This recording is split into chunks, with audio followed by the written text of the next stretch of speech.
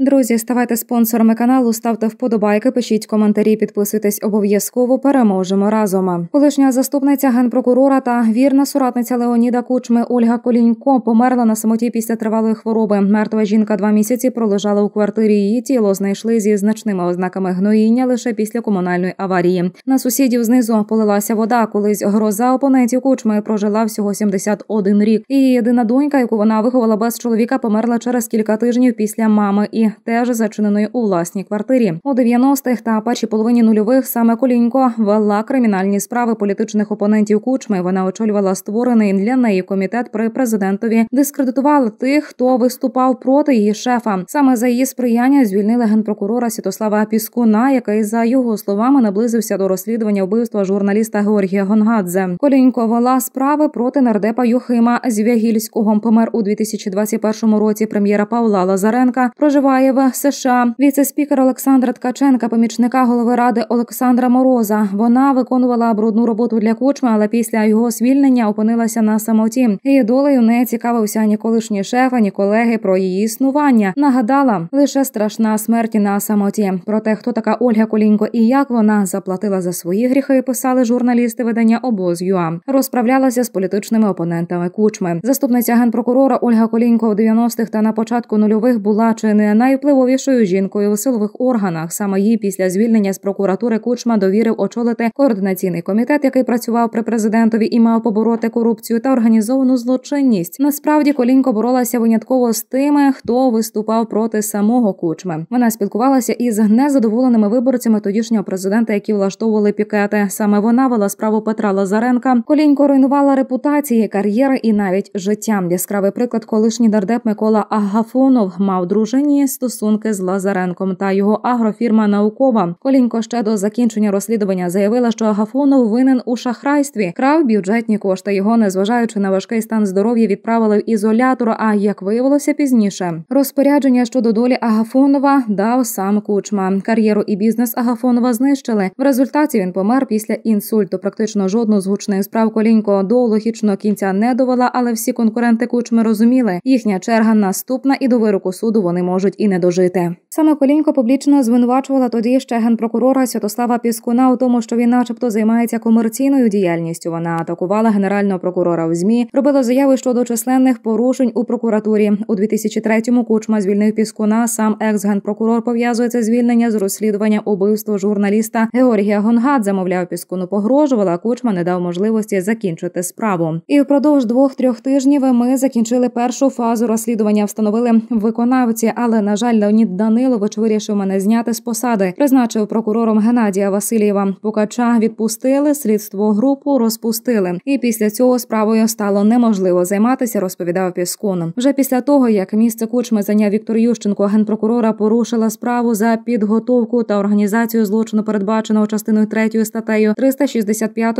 кримінального кодексу України у зв'язку з незаконним звільненням президентом України Леонідом Кучмою 29 жовтня 2003 року із займаної посади генерального прокурора України Святослава Піскуна, що суттєво перешкоджало розслідуванню кримінальної справи про вбивство журналіста. Справа нічим не закінчилася. За часів роботи колінько адміністрацію Кучми очолював Віктор Медведчук. Без контактів з ним неможливо було приблизитися до президента, створити будь-який орган при його адміністрації. Медведчук намагався керувати змі, вів темники, а ще напевно використовував колінько для боротьби з конкурентами. Розслідування вбивства Гонгаце було не в інтересах кучми. Жорстке вбивство журналіста, кровавий слід на кар'єрі другого президента. Колінько організувала кримінальне переслідування і проти мороза, який презентував журналістам касети розмовами кучми. А проти Піскуна, який розслідував вбивство журналіста, жінка запустила інформаційну кампанію. У 1996-му Колінько намагалася потрапити в парламент. Її навіть обрали народною депутаткою від Львівщини. Проте Верховний суд результати голосування скасував через численні порушення. На одномандатному окрузі за прокурора голосували навіть мертві душі. Через 19 років після звільнення з прокуратури та закінчення політичної кар'єри кучми його вірна соратниця Колінько померла на самоті. У нас не такий будинок. Це точно була радниця кучми. Здивувалася новиною про смерть Колінько одна із її сусідок. Журналіст Андрій Дерепа ще 2003 року у своїй публікації згадував, як зливи інформації від адміністрації президента Кучми озвучувало особисто колінько. З адміністрації просили організувати витік свіжої інформації та повідомили, що з нами зв'яжеться Ольга Колінько. У понеділок, 27 лютого